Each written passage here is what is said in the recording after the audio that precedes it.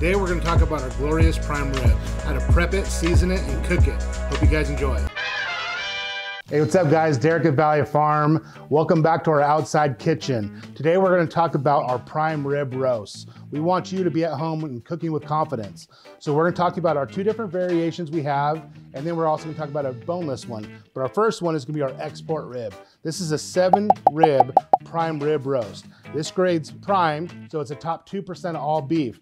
The next one's gonna be choice, and that's the next 20%. We call that a standing rib roast. What we like to do at Valley Farm is take it off of the rib, put it back on and tie it. That way when you put it in the oven you're done cooking, you cut those strings, the rib comes right off and you have a boneless prime rib and people can fight over those bones.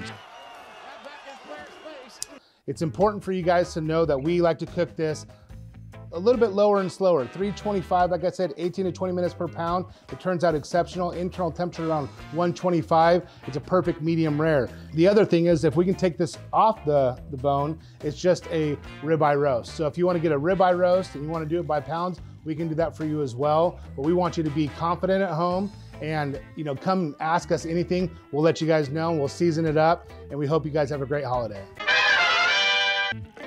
so now that we have it out of the bag, I'm gonna take some of this back fat off of it. I'm gonna put it to the side. Do not throw that away. I'm gonna take off the bone, off the rib. This way we can have a boneless prime rib when we're done cooking. But that back fat that we took off is now gonna go back on. We're gonna tie it together. So I use a butcher's knot and I'm gonna put about 14 butcher's knots on this. That way the circumference is even and it cooks a lot more evenly throughout the whole process. Now you have the whole seven rib roast. I'm gonna cut through it and you're gonna have a three rib and a four rib roast.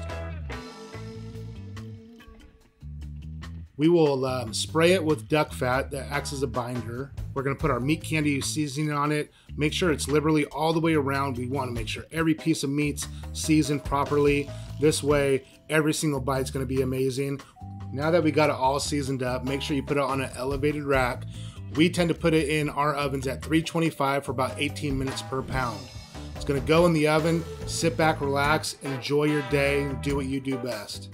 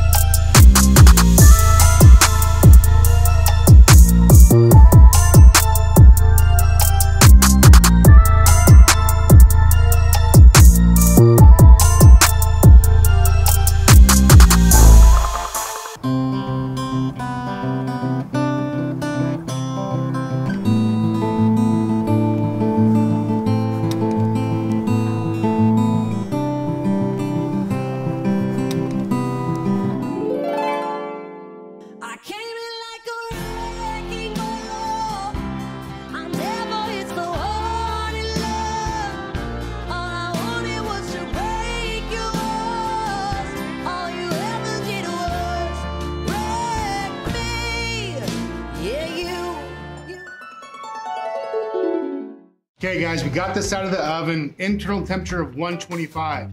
Key is to let it sit for about 20 minutes. It's gonna rise to 135. It's gonna be a perfect medium rare. After that, we can just cut off our strings. And as you can see, because it's oven prepared, this rib will just fall right off. So now with these strings, take them off. You don't wanna eat these. Highly frowned upon. Now we have a boneless prime rib roast that we can just slice up.